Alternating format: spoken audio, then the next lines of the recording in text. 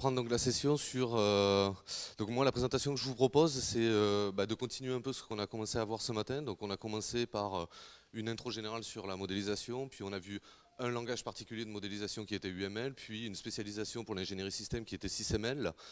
Et je vais essayer à travers ma présentation de généraliser encore plus ce qu'on a vu avec la capacité de se définir nos propres langages ou de se spécialiser nos, nos propres langages. Alors bon, le titre, euh, j'ai juste mis les mots-clés que vous pouvez euh, voir dans les littératures. Donc euh, MDE pour Model Driven Engineering, ingénierie des, modèles en, français. DSL pour Domain Specific Language, pour les langages métiers. Et Software SLE pour Software Language Engineering. Donc toute l'ingénierie que je vais vous introduire un peu rapidement aujourd'hui autour de, la gestion du cycle de vie des langages que l'on utilise en informatique. Alors, un moyen sinon de rephraser, alors qui est très très réducteur, mais qui est une phrase que j'aime bien, qui est également euh, la question qu'on va se poser, c'est finalement pourquoi ne pas écrire le code qui va générer mon code que plutôt d'écrire mon code? Alors vous allez me dire, vous êtes complètement fou. Euh, je vais essayer de vous montrer que c'est pas tout à fait si fou que ça et qu'il y a un certain nombre d'intérêts finalement à, à faire ça. Alors, juste pour positionner le contexte, euh, on est dans le même contexte que celui dans lequel on était ce matin, c'est-à-dire sur des systèmes complexes. Euh, des systèmes complexes euh, que là j'appelle donc euh, des systèmes cyberphysiques. Pourquoi cyberphysique? Parce que ce qui nous intéresse dans ces systèmes, c'est que le, côté cyber, donc le côté informatique, est très intriqué au milieu d'un ensemble d'événements physiques qu'il faut prendre en compte dans, la construction de, la partie cyber et qui peut potentiellement également réagir à ce monde physique et c'est entre autres le côté smart qui est au début. Alors évidemment, euh, tous ces systèmes-là, ils paraissent euh, a priori très différents les uns des autres. Euh, on démarre par des systèmes embarqués, temps réel, critiques, avec des systèmes de systèmes, des systèmes distribués, voire même des systèmes de type domotique ou smart cities. Donc évidemment sur des domaines d'application radicalement différents, mais qui ont tous la particularité d'avoir du soft qui est intriqué au milieu d'une partie hard, d'une partie physique, etc. Alors nous, euh, sur ces systèmes-là, on travaille avec un certain nombre d'acteurs euh, en France et, euh, au-delà. Je vous en cite quelques-uns, c'est juste pour citer un peu, enfin pour positionner un peu les, domaines d'application et vous montrer également la diversité des types d'acteurs avec lesquels on peut, on peut travailler. Alors c'est évidemment dans un premier temps des grands comptes, ceux que je montre à l'extérieur plutôt, donc comme Airbus, Thales, EDF, etc.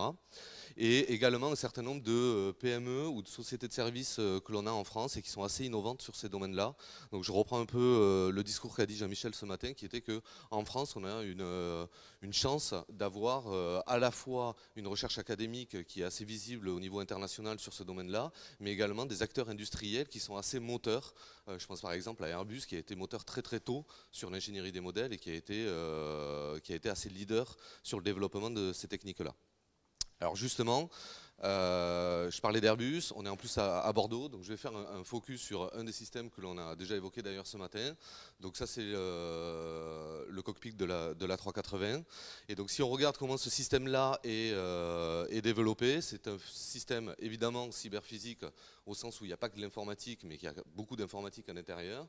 Et donc si on regarde comment il est construit, on se rend compte qu'il y a plein de préoccupations à prendre en compte. Donc ça, ça nous pose un certain nombre de problèmes parce qu'évidemment, toutes les préoccupations ne peuvent pas être développées indépendamment les unes des autres, mais à un moment donné, doivent s'intégrer les unes avec les autres pour, in fine, fournir le, le système euh, complet. Et donc si on regarde comment sont adressées chacune de ces préoccupations-là, on se rend compte qu'elles sont adressées par des personnes toutes différentes, avec un background différent, avec potentiellement euh, un vocabulaire différent, avec des expériences différentes, des compétences différentes, et également utilisant des outils et des méthodes complètement euh, différents. Alors différents, mais pas tant que, euh, dans le sens où si on regarde comment toutes ces différentes personnes travaillent, on se rend compte qu'elles utilisent tous des modèles. Alors vous allez me dire, oui, mais des modèles qui n'ont euh, rien à voir les uns avec les autres, mais ils utilisent malgré tout euh, tous des modèles pour toutes les préoccupations. Alors pour certaines c'est évident parce que dès qu'on parle de hard, on est bien obligé de le modéliser en amont, mais également même pour le soft, ce qui permet par exemple à Airbus d'avoir euh, l'avion zéro qui est euh, l'intégralité de l'avion mais au format numérique sous la forme de modèle sur lequel ils peuvent commencer à faire un certain nombre de simulations avant d'envoyer le, le, premier avion en l'air. Alors Évidemment, ça nous pose un certain nombre de problèmes parce que c'est que des modèles, mais ce sont tous des modèles différents et à un moment donné, il faut tous venir les intégrer les uns avec les autres pour, euh, in fine, obtenir le système global que l'on souhaite euh, construire. Alors pour ça, euh, l'ingénierie des modèles promulgue la séparation des préoccupations, donc c'est ce qu'on voit ici. Pour un système complexe, ce qu'on va essayer de faire avec l'ingénierie des modèles, c'est de séparer les préoccupations et d'adresser chacune des préoccupations avec un modèle particulier qui va se concentrer sur cette préoccupation-là tout en essayant d'ignorer toutes les autres qui ne sont pas forcément relevantes pour euh, la description de cette euh, préoccupation-là. Alors juste avant, je vous montrais euh, du soft et pas forcément autre que du soft. Là, je me suis un peu concentré plutôt sur, sur la partie logicielle, mais rien qu'en se concentrant sur la partie logicielle, on se rend compte que là aussi, il y a une séparation des préoccupations nécessaires, parce qu'évidemment, toutes ces préoccupations que je vous mentionne ici sont adressées par des personnes, par des stakeholders euh, différentes dans le processus de développement. Alors ça c'est beau euh, sur euh, le papier, mais ça pose évidemment un certain nombre de challenges. Un des challenges en particulier sur lequel je vais revenir euh, juste après, c'est le fait que quitte à séparer les préoccupations, on va essayer de les adresser chacune avec ben, le, formalisme le plus adéquat à cette préoccupation-là. Et donc c'est ce que l'on voit ici, c'est qu'on a un certain nombre de modèles et tous les modèles sont décrits avec un formalisme différent. Donc ça c'est l'hétérogénéité que j'évoquais juste, juste avant. Un autre problème que cela pose, même si c'est beau sur le papier, évidemment, on n'a fait que repousser le problème, qui est qu'à un moment donné, il faudra quand même recomposer toutes ces préoccupations-là pour obtenir le système complet. Et donc même si euh, c'est assez élégant de séparer les préoccupations de manière à réduire la complexité, à un moment donné, il faut bien venir, euh, alors soit manuellement, soit ce que l'on essaye de faire le plus automatiquement possible, venir décrire ces flèches bleues qui viennent recomposer l'ensemble des modèles dans un modèle complet de, du design. Alors notez bien que ce modèle complet, il n'est pas forcément euh, euh, matérialisé, hein. il peut être juste, il peut émerger en mémoire, mais à partir duquel on va pouvoir ensuite dériver le code du système et donc le système lui-même. Donc ça, c'est en un slide un résumé, en tout cas mon résumé, euh, de l'ingénierie des modèles. Donc évidemment, c'est très, très réducteur, mais euh, bon voilà, c'est en un slide la manière dont je le, dont je le synthétiserai. Alors, un élément important là-dessus, c'est que ce processus-là, euh, cette boucle-là, peut être appliquée à n'importe quel moment du processus de développement. Et donc on a vu euh, dans les expériences passées, dans les dix dernières années, euh, appliquer cette boucle-là, à la fois très tôt dans le processus au moment des exigences, au moment du design, mais également plus récemment euh, jusqu'à l'exécution même du système. Alors pourquoi? Euh, Si on l'applique très tôt dans le processus de développement, ça nous permet entre autres de venir décrire des variants du même système, ce qu'on appelle des lignes de produits. Et ça, on l'obtient comment? Ben, On l'obtient euh, par exemple en changeant un modèle par un autre et en le recomposant avec les autres modèles du système. Donc là par exemple l'illustration qu'il y a ici, c'est de changer le modèle de la plateforme si on veut déployer un système euh, qui était euh, initialement fait pour une plateforme donnée et le déployer sur une autre plateforme. Dans ce cas-là, alors, on va décrire un autre modèle pour la nouvelle plateforme et le recomposer avec tous les autres modèles de manière à réobtenir un système iso-fonctionnel, mais cette fois-ci prévu pour être déployé sur une autre, euh, sur une autre plateforme. Donc ça, c'est très tôt dans le processus. On l'applique également jusqu'à l'exécution même du système. Alors là, un exemple, c'est par exemple euh, les, modèles de politique de sécurité que vous venez changer à l'exécution du système, vous le recomposez avec l'intégralité du système et vous reobtenez le même système, mais cette fois-ci avec des politiques de sécurité qui ont changé. Et donc ça, ça nous permet de parler de systèmes adaptatifs. Euh, donc les systèmes qui vont venir s'adapter euh, à l'exécution, en particulier en fonction de l'environnement qui évolue autour d'eux. Euh, donc euh, voilà pour les deux, les grands challenges qui nous ont animés en tout cas euh, dans la communauté depuis les dix dernières années. D'une part venir décrire les différents formalismes et d'autre part venir décrire comment coordonner, recomposer les différents modèles que l'on décrit avec ces différents formalismes. Alors je vais faire un focus sur le, le premier problème maintenant, sur le problème de ces formalismes-là. Et donc récemment, euh, donc là je vous cite euh, un article de 2014, mais qui est euh, l'article final d'une longue suite qui avait démarré en 2011, d'une étude un peu empirique de comment était utilisé le MDE dans l'industrie. Alors, je, mets de suite un bémol qui n'est pas, c'est pas une étude qui étudie la pénétration du MDE dans l'industrie, mais qui étudie une fois qu'elle a pénétré dans certaines industries, comment elle est utilisée. D'accord?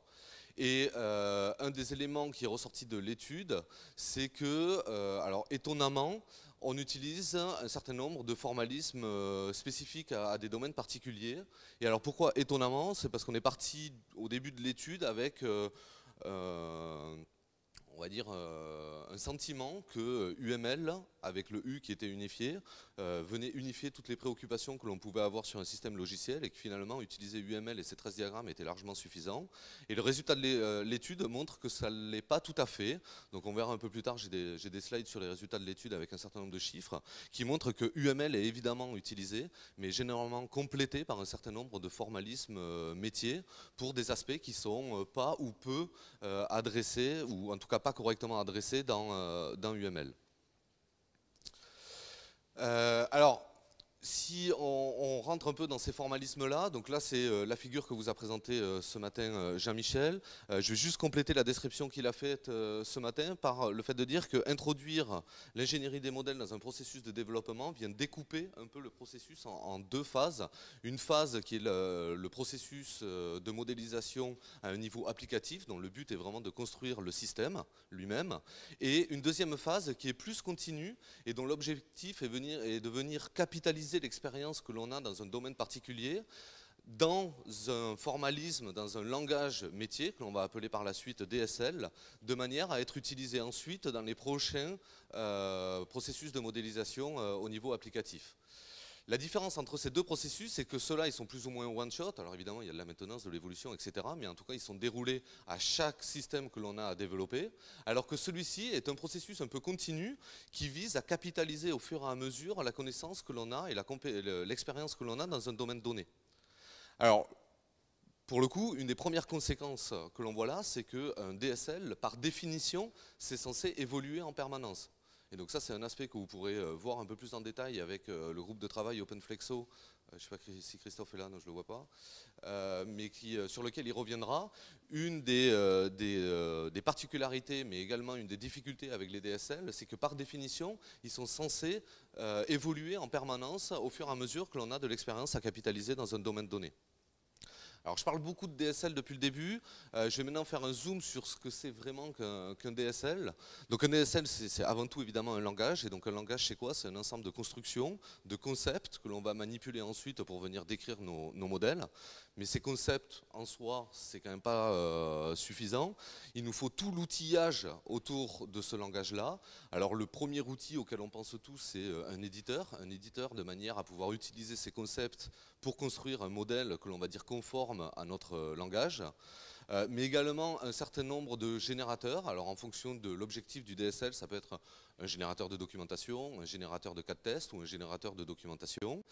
Et euh, également un certain nombre d'outils de validation et de vérification, car les modèles sont utilisés souvent très tôt dans le processus de développement pour faire ce que l'on appelle de la early validation and verification, donc pour venir très tôt dans le processus de développement, valider et vérifier un certain nombre de choix de conception que l'on fait. Et donc pour ça, on a besoin de développer des outils de validation et de vérification. Alors ça peut être des checkers statiques ou dynamiques, ça peut être des modèles checkers, ça peut être des simulateurs, etc. Le dernier type d'outils que l'on peut euh, voir également, c'est un certain nombre d'outils de refactoring pour venir euh, automatiquement, par exemple, appliquer des, euh, bonnes pratiques, des, patterns, etc. Alors, l'objectif un peu visé de ces DSL, c'est de venir réduire le gap que l'on a entre les problèmes qu'on se pose et les solutions pour venir implémenter ces, problèmes-là. Évidemment, tout problème peut être, euh, implanté dans l'espace de la solution avec un langage comme assembleur. Euh, mais vous m'accorderez tous que euh, c'est assez compliqué d'adresser un problème un peu complexe avec assembleur. Et donc, on a euh, cessé, depuis le début du génie logiciel, d'essayer de monter en abstraction dans les langages que l'on a à notre disposition. Alors, on a vu ensuite euh, des langages comme Java euh, et C, qui évidemment apportent un certain nombre d'abstractions sur, sur l'assembleur, mais qui restaient malgré tout des langages à vocation généraliste, c'est-à-dire avec la capacité d'encoder tout problème dans l'espace de la solution. Et euh, plus récemment, on en est arrivé donc à la notion de DSL, où là on a pris le parti de dire que l'on n'allait plus adresser tous les problèmes possibles de manière à les encoder dans l'espace de la solution, mais qu'on en allait se restreindre à un scope bien précis de problèmes, un ensemble de problèmes bien précis, que l'on allait essayer d'adresser le mieux possible avec ce DSL-là, et tout l'outillage autour du DSL allait ensuite venir euh, franchir le gap entre l'espace du problème et l'espace de la solution. Par exemple, un générateur de code va vous permettre, avec le DSL, d'exprimer votre, problème à très haut niveau et ensuite de traduire tout ça dans un code dans l'espace de la solution automatiquement. Alors, le parallèle, euh, ou la métaphore qui peut être facilement faite entre euh, des euh, langages généralistes et des, des langages dédiés, c'est le parallèle entre le couteau suisse et un certain nombre d'outils dédiés à, certaines des tâches. Soit vous pouvez utiliser des langages généralistes avec lesquels vous allez pouvoir encoder tout type de, de problèmes, mais vous me l'accorderez, en tout cas dans le cas du couteau suisse, généralement avec un certain nombre de, difficultés, et on sent bien que c'est généralement pas euh, très adapté au problème que l'on est en train de, faire. Je pense qu'on a tous utilisé des couteaux suisses dans notre vie, on a tous euh, vécu euh, des moments pas faciles pour ouvrir des, boîtes de conserve. Et par ailleurs, des outils de l'autre côté spécialisés à des tâches bien particulières, mais qui pour le coup, vu qu'ils sont spécialisés à des tâches bien particulières, ne vont pas être adéquats pour adresser d'autres tâches sais pas si vous avez déjà essayé de, planter un clou avec un tournevis, mais c'est quand même pas si simple. Par contre, si vous voulez euh, utiliser un marteau pour ça, ça va être plus adéquat que d'utiliser votre couteau suisse. Donc les définitions, c'est euh, euh, la définition d'un DSL, c'est vraiment venir adresser un problème particulier avec donc un support à ça qui peut être donc, une notation textuelle ou graphique et un certain nombre d'outils tels que je les ai cités juste, juste avant et dans l'objectif d'être plus efficient alors ça peut être euh, efficient euh, d'un point de vue qualité, d'un point de vue financier, etc. Euh, mais d'être plus efficient dans le problème que l'on a à résoudre. Alors quelques définitions juste que vous pouvez retrouver dans la littérature, hein, c'est des choses que j'ai retrouvées, ça va d'articles scientifiques jusqu'à Wikipédia. Mais donc un DSL, c'est un langage qui est conçu spécifiquement pour un certain domaine, ce qui veut dire qu'il faut déjà connaître le domaine pour le coup et l'avoir à un moment donné caractérisé. Euh, c'est un euh, langage qui est par contre euh, formellement processable, traitable, c'est-à-dire en gros interprétable par la machine. Donc on peut venir manipuler une instance de ce langage automatiquement, par exemple pour venir le compiler, par exemple pour venir l'analyser automatiquement. Euh, et qui adresse un point de vue ou un aspect particulier sur, euh, sur le système. Donc ça, c'est les fameuses préoccupations que je vous parlais depuis euh, le début. Et la dernière définition, donc, qui adresse un ensemble particulier de problèmes, à l'inverse d'un langage généraliste, qui se dit General Purpose Language, qui lui vise à traiter tout type de, de problèmes.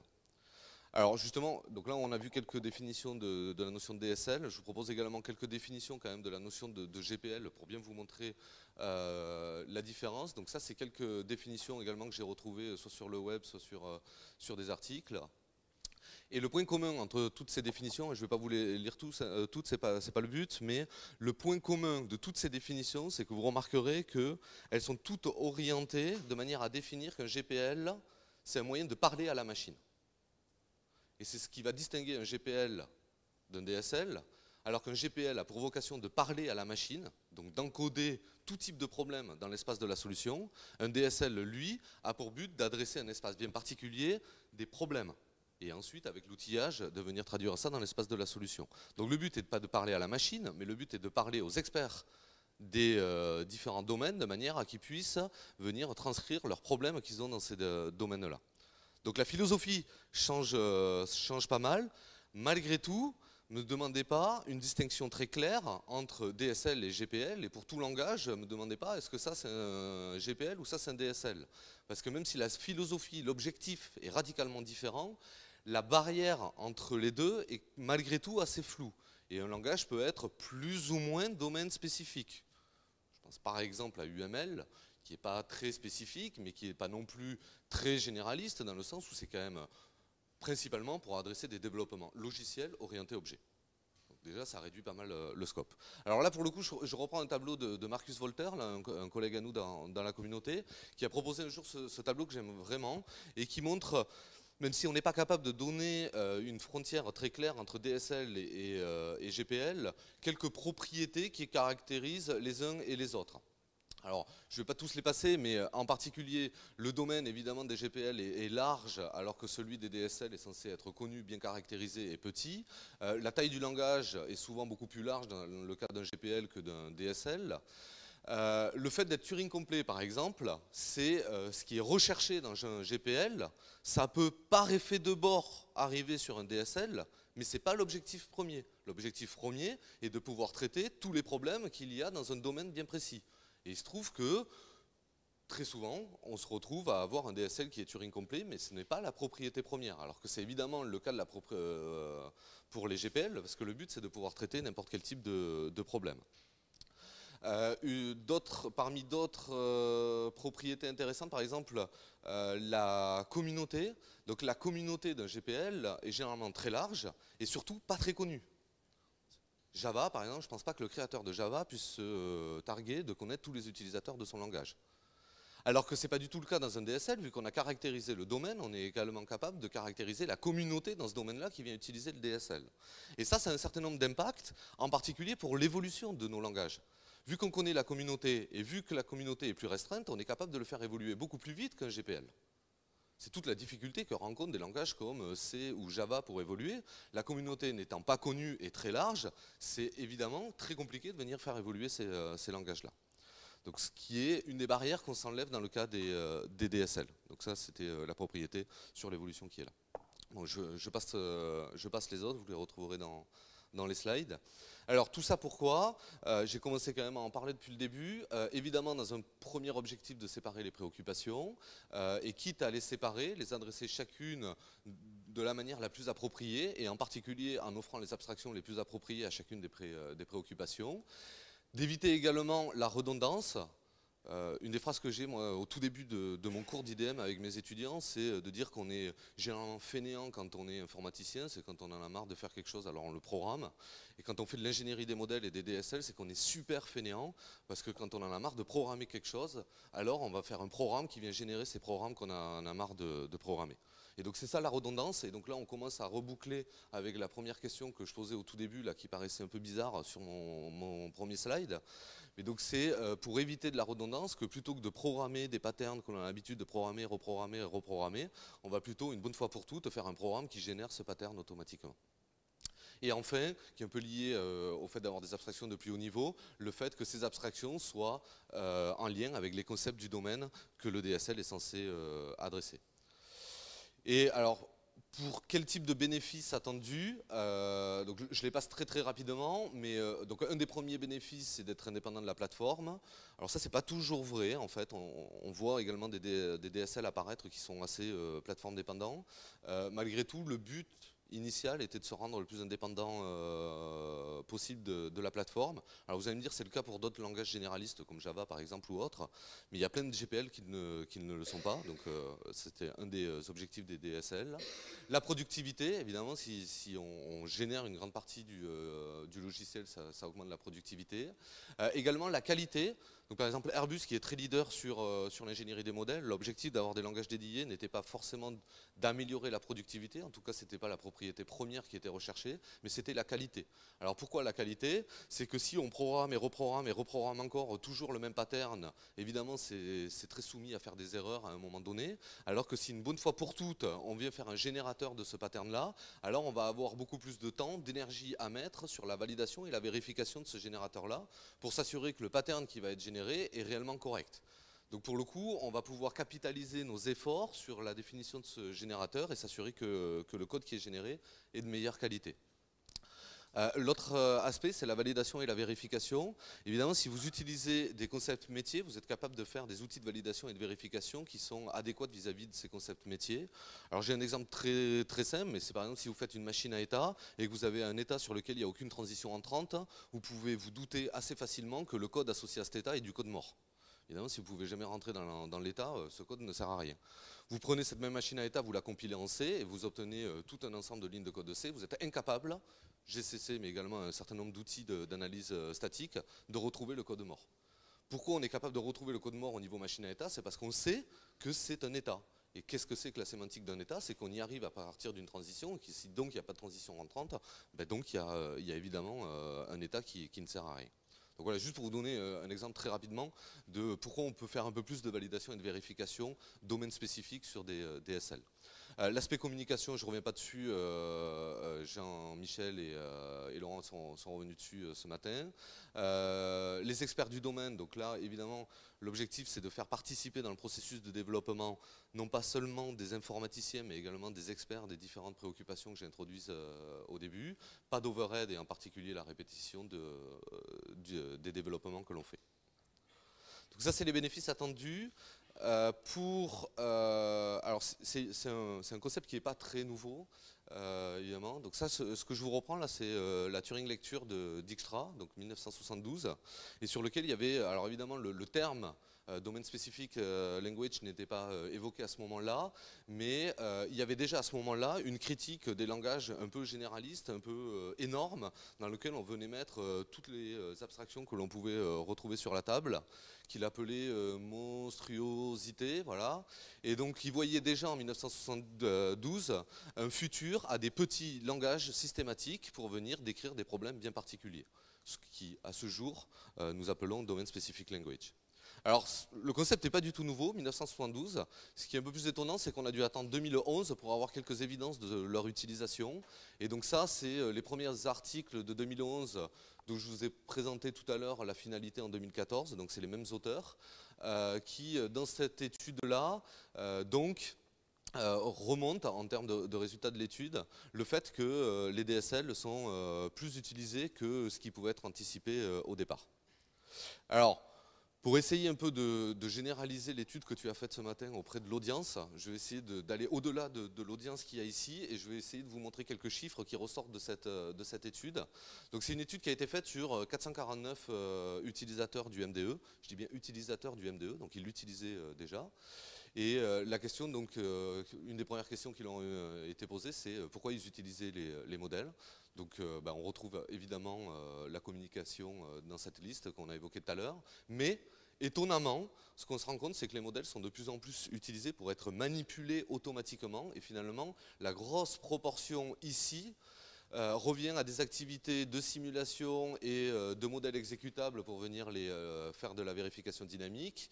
Du model-based testing, c'est donc générer les cas de test à partir des, modèles, et des modèles, des modèles métiers décrits à partir des, DSL, ainsi qu'un certain nombre de transformations modèle à modèle, généralement pour faire de l'interopérabilité entre un certain nombre d'outils. Alors, on pourrait s'étonner du, de, fait que communication arrive assez loin. En fait, mon interprétation de ça, c'est que c'est évident pour tout le monde. Et je pense que tout le monde utilise des modèles pour, euh, dans un premier temps, communiquer. Et quand on pose la question, pour le coup, de pourquoi tu utilises les modèles, c'est quelque chose qui est tellement évident et qui n'arrive pas forcément à l'esprit. Et on, on répond plus facilement, finalement, les usages un peu avancés que l'on fait de ces modèles-là. L'autre résultat intéressant, c'était quels sont les types de langages qui sont utilisés. Si vous euh, regardez donc sur euh, ce schéma-là, on voit bien que UML est évidemment utilisé à plus de 80% par les 449 euh, personnes qui ont été interviewées. Mais ce qui est également à remarquer, c'est que les DSL apparaissent de manière assez importante. Alors il y a deux catégories ici de DSL. Il y a les DSL qui sont fournis par des tool providers un peu sur étagère et que peut, dont on peut acheter ou utiliser euh, l'outillage qui va autour. Et là, ce sont les DSL qui sont définis euh, en interne. Donc on voit bien la, proportion qui est assez euh, importante. Et on pourrait même mettre dans la catégorie des DSL tous les autres, parce que finalement, donc CML, on en a parlé ce matin, c'est un profil UML, BPMN est également un profil UML, et MATLAB Simulink, j'imagine vous connaissez tous. Un point à remarquer là-dessus, c'est que si vous faites l'addition, vous n'êtes pas à 100%. Alors c'est pas qu'il y a une erreur dans l'étude, c'est que euh, la plupart des personnes qui ont été interviewées n'utilisent pas qu'un seul langage, mais utilisent plusieurs langages. Et donc ils utilisent quasiment tous UML, mais complètent euh, l'utilisation du UML par un certain nombre d'autres langages euh, spécifiques à des domaines particuliers qui ne sont pas ou peu adressés par, par UML. Et après, sur les types de diagrammes, donc ce matin, on a fait un peu à main levée euh, euh, une étude. Donc évidemment, on retrouve le diagramme de classe qui est utilisé euh, de manière très importante. juste derrière, le diagramme d'activité. Alors, je suis assez d'accord avec ce que tu disais ce matin. Euh, le diagramme d'activité d'un UML peut aller jusqu'à un diagramme d'activité exécutable, c'est-à-dire avec tous les détails de manière à pouvoir être interprété. En fait, dans les faits, c'est pas trop ça. Moi, j'ai fait pas mal d'études et j'ai pas mal recherché dans la communauté des diagrammes d'activité euh, exécutables. Et je peux vous assurer que j'ai pas euh, rempli énormément mon disque dur de ce genre de modèle, parce qu'en fait, la plupart sont des processus d'assez haut niveau. Et donc, c'est ce que tu disais ce matin dans ta présentation. Euh, et on retrouve juste derrière bah, exactement euh, les, diagrammes que vous avez cités euh, ce matin, use case, séquence et diagramme d'état. Et puis ensuite, alors là, évidemment, vous en avez plein, et la liste s'arrête là parce qu'évidemment l'écran s'arrête, mais on pourrait en rajouter, parce que des DSL, il en, existe plein, et donc on aurait pu rajouter plein d'autres types de, de diagrammes. Donc, ce qu'on retient un peu de ça, c'est que les DSL sont utilisés de manière plus importante que ce que l'on aurait pu anticiper au départ. Et si on regarde ce que c'est qu'un DSL, on se rend compte qu'un DSL, un DSL logiciel, c'est lui-même un logiciel, c'est-à-dire qu'il faut venir décrire le modèle conceptuel, les différents concepts de, notre langage, mais également tout l'outillage autour. Et développer l'outillage, c'est développer du, euh, logiciel. Alors, ces langages-là peuvent prendre plein de formes un peu différentes. Euh, on peut parler de DSL externe. Donc un DSL externe, c'est un DSL sur lequel on va euh, tout redéfinir from scratch. Donc on va se définir nos concepts et sur la base de ces concepts, on vient définir l'ensemble des outils. Euh, alors évidemment pour ça, on a des environnements qui, ont, qui sont apparus dans les dernières années. Au même titre qu'on parle de IDE pour du développement logiciel, on va parler de Language Workbench pour le développement de langage logiciel.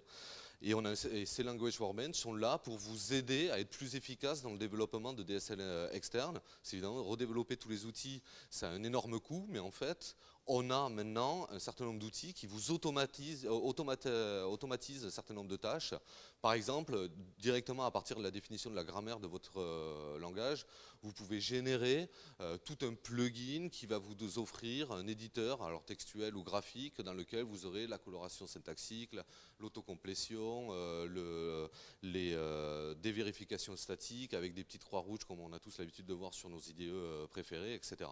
Donc ces languages Workbench sont d'une aide énorme pour venir définir ces, ces langages externes. Euh, au vu de tout l'outillage qui est à définir euh, autour. On retrouve également des DSL internes. Alors un DSL interne, c'est quoi? C'est un DSL qui est défini à l'intérieur d'un langage que l'on va appeler un langage hôte. Alors là, euh, l'avantage, c'est quoi? C'est qu'évidemment, on va pouvoir réutiliser tout l'outillage qui est défini autour du langage hôte. L'inconvénient, c'est qu'on est limité par le scope que gère le langage hôte. Donc là aussi, c'est tout un trade-off. Ce qui, euh, qui m'amène donc sur ce slide, me demandez surtout pas est-ce euh, est-ce que c'est mieux un DSL externe ou un DSL interne? Il n'y a pas de réponse à cette question-là. Ça dépend énormément du contexte. Et ce contexte peut être très, euh, très varié. Euh, ça peut dépendre de, la connaissance et des compétences que vous avez dans l'équipe sur le développement de, langage. Ça peut être la familiarité des futurs utilisateurs de ce langage-là. Si euh, vos utilisateurs sont des utilisateurs qui utilisent Java tous les jours, bah, il serait peut-être plus pertinent effectivement de leur offrir un DSL sous la forme d'annotation quelconque dans, Java, parce qu'ils vont rester dans le même environnement. Par contre, si vous parlez bah, à des agronomes, comme on a fait l'expérience avec, avec l'INRA, bon, bah, c'est pas forcément euh, si évident que euh, ça soit la meilleure des euh, solutions que de rester dans un langage hôte de type objet ou autre. L'autre chose, c'est également la communication avec les experts, le mix avec le langage hôte et les limites de l'expressivité. Comme je vous disais, un langage interne, il est limité à ce que l'on peut exprimer en termes du langage hôte. Et donc si on veut aller au-delà, on est obligé de sortir de ce contexte-là. Donc un DSL peut être externe ou interne, avec euh, pas forcément de, réponse à quel est le, meilleur entre les deux. Il peut également être textuel et graphique, et je voudrais de suite euh, arrêter tout, euh, toute polémique autour du fait qu'un langage de programmation c'est euh, textuel et qu'un langage de modélisation c'est graphique. Donc ça c'est totalement faux. Un langage de programmation peut être textuel et graphique, un langage de modélisation peut être textuel et graphique.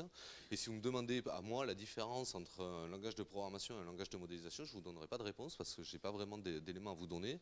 La seule chose que je fais comme distinction entre un programme, cette fois-ci, et un modèle, c'est qu'un programme généralement capture toutes les préoccupations d'un système, alors qu'un modèle, par définition, normalement se concentre sur un aspect, une préoccupation particulière d'un système. Après, un programme comme un modèle peuvent être tous les deux décrits avec un langage que l'on qualifie de programmation ou de modélisation. Et donc dans les langages de modélisation et les langages métiers en particulier de modélisation, on a tout autant des langages Workbench qui vont vous permettre d'obtenir des éditeurs textuels que des éditeurs graphiques. Donc là je vous en cite deux qui sont dans l'écosystème euh, Eclipse. Euh, Xtext qui, euh, c'est l'exemple que je vous donnais juste avant, à partir d'une grammaire va vous générer automatiquement tous ces plugins dans lesquels vous retrouvez tous ces outils-là.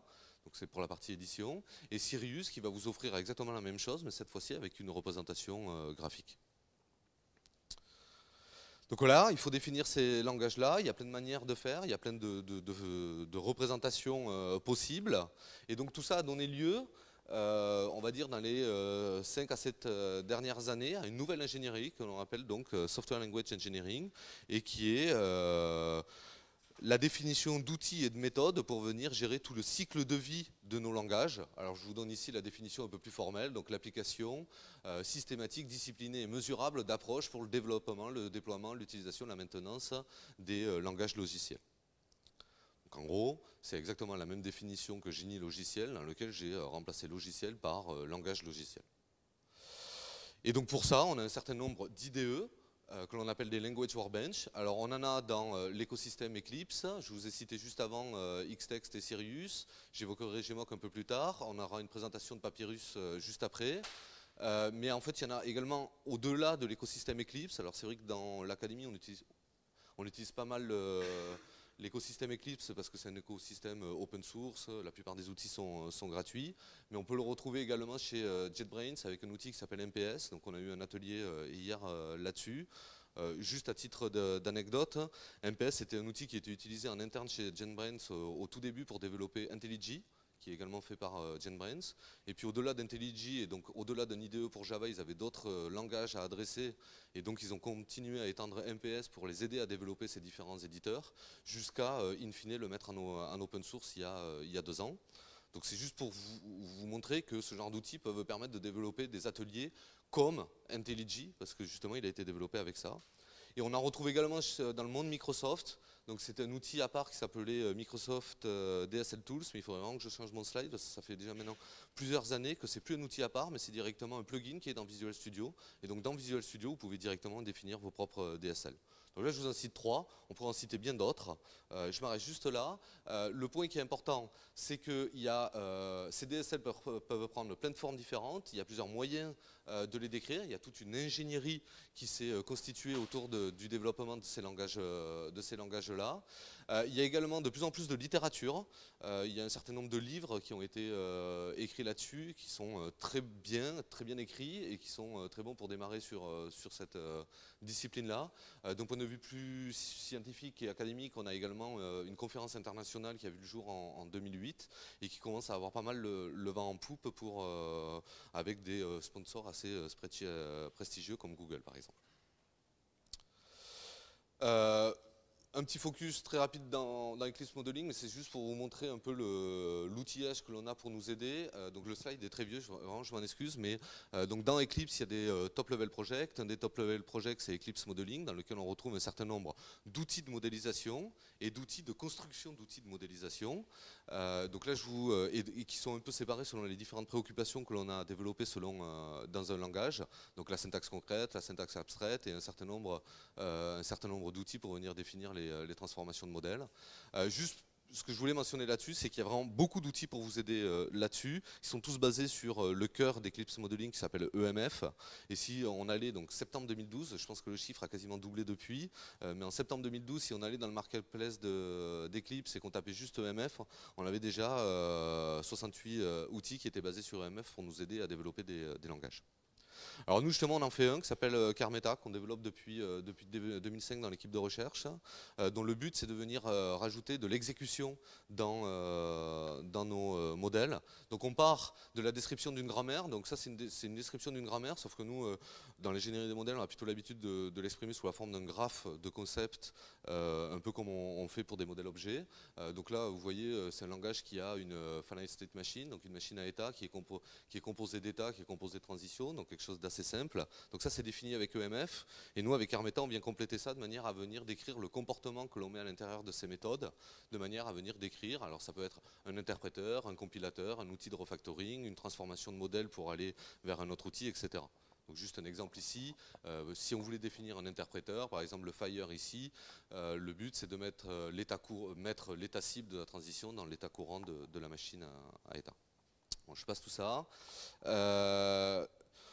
Je vais terminer un peu là-dessus. Euh, donc, il y a vraiment pas mal de littérature, il y a pas mal d'outils, il n'y a pas trop d'excuses pour pas y aller. C'est aussi ça, c'est une des phrases que je dis à, mes étudiants, qu'il n'y a vraiment aucune excuse maintenant pour, euh, pour au moins ne pas essayer.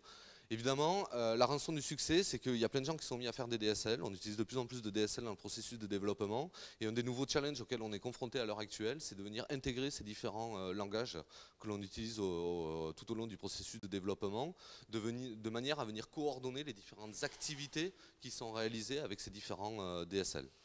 Alors, cette intégration peut prendre un certain nombre de, formes euh, différentes. Nous, dans l'équipe, euh, on regarde un certain nombre d'aspects, que ce soit, alors je vais directement aller sur le slide d'après, voilà, euh, que ce soit pour aider à la modularité, la customisation, le reuse et la gestion de la variabilité dans ces langages-là.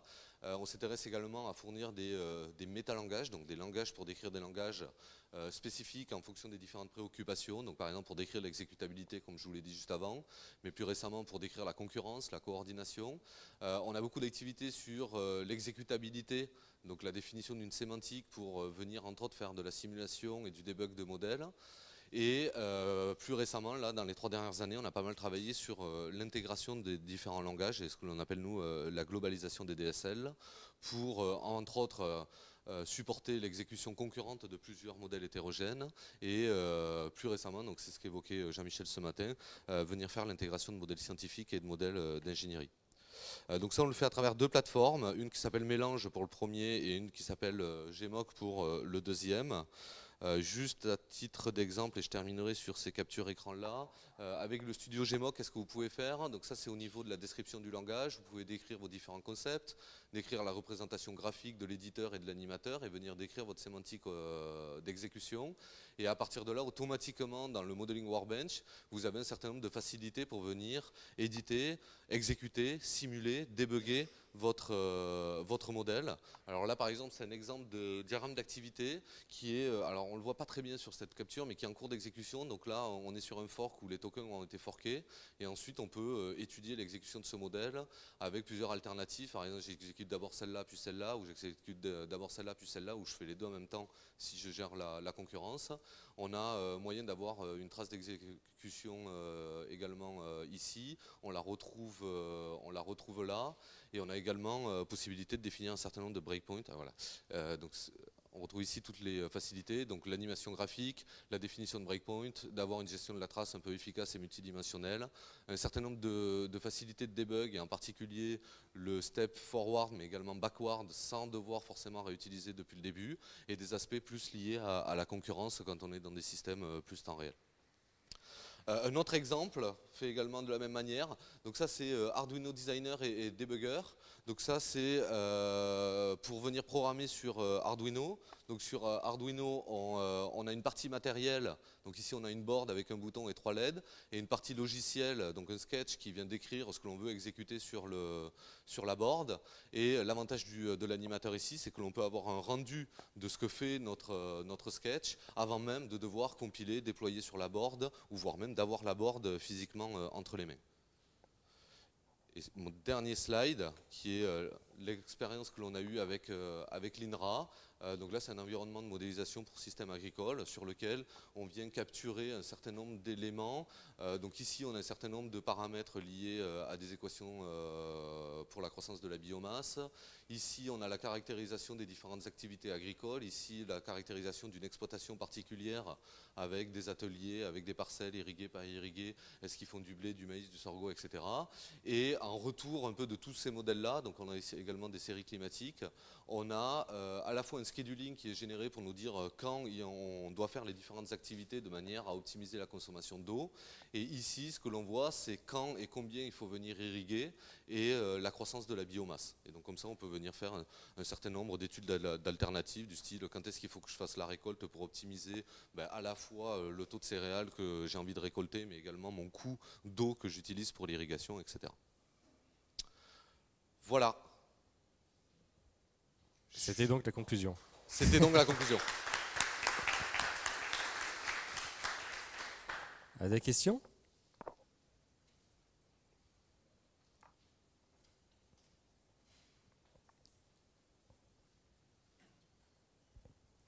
Oui, une question naïve. J'ai pas bien compris à quel moment du cycle de, production on définit un DSL. Et, et, qui le fait?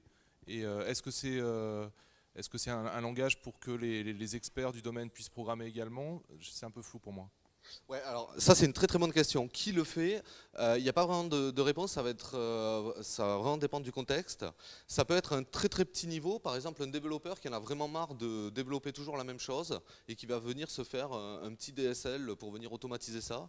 Alors moi j'ai quelques stagiaires par exemple qui en avaient marre de générer euh, des pages web pour faire du CRUD sur des éléments d'une base de données et qui se sont dit ah ben je vais venir mettre, alors mon DSL ça sera des points noirs sur mon modèle de, classe et pour toutes les classes que j'aurai à noter avec mon point noir, bah, je vais faire un générateur de mes pages web euh.